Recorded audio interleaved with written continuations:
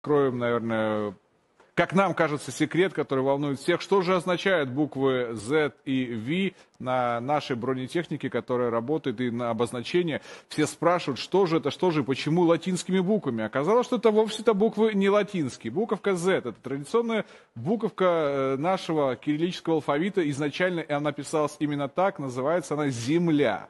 И автомобили, и наша бронетехника с этим обозначением заходят на Донбасс. В Донбасс и с той стороны прежде всего, потому что это наша земля.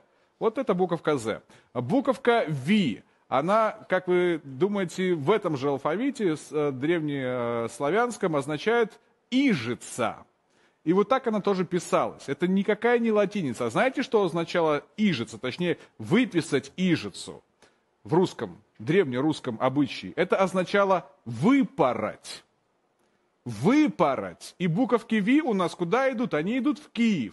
И что они там хотят сделать с э, руководством этой страны, ну, не знаю, выпороть или не выпороть, но мы очень надеемся, что судить мы их будем. И там наступит им полная ижица. Поэтому, друзья, я думаю, что это должны знать все и понимать. Это никакая не латиница, это наши исконно русские корни, которые мы сейчас себе возвращаем во всех смыслах. И в территориальных, и в идеологических, и в понятийных, и самое главное, мы себя начинаем ассоциировать с самими собой. Не с каким-то Западом, а с самими собой.